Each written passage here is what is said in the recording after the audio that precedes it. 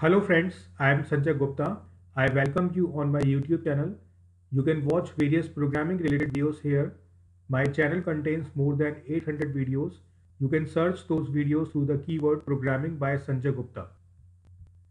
In this video, I am going to demonstrate you how you can pass union into functions in C programming. For example, I am going to implement the program which will read and display mouse button click coordinates.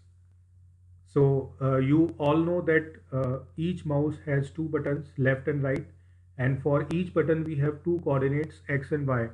But at single point of time we can read uh, or we can click either left or uh, right mouse button. So we have to store a particular value at a particular time. So for saving the memory here I am going to use the union. So first I'm going to include a header file stdio.h now I'm declaring union whose name is mouse. Inside this I am declaring two variables L and R. L will be storing left mouse button coordinates and R will be storing right uh, mouse button coordinates. And there will be two coordinates that that's why size of these variables uh, are two as uh, in form of arrays so I am declared sorry I am declaring this uh, mouse as union so uh, I can store value into L or I can store value into R at a particular time. I can't store values to uh, uh, values into both variables because I'm uh, using union as a keyword. So union shares the memory locations uh, and here I have to store values for left button or right button. That's why union is the uh, best possible data type for this kind of problem. Now I am going to uh, declare a function whose name is display and inside this function I'm going to pass an argument whose data type will be union mouse. So this is function declaration. Now I'm going to define main function where I will be reading values from user.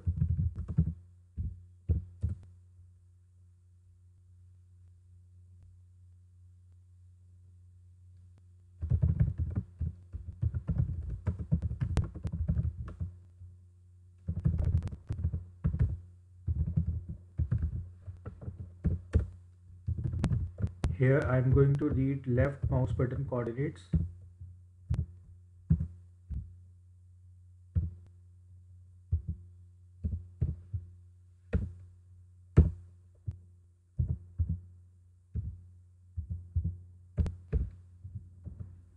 this way. Both x and y coordinates are stored in m1.l0 and m1.l1 positions. Now I am going to call display function and I am passing union variable.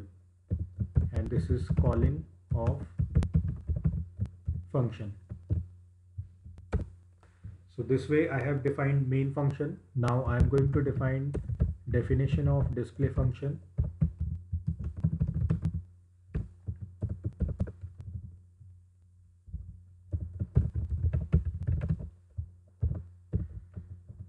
here I am going to just display the values on output screen. So left button x coordinate equals to m1 dot l0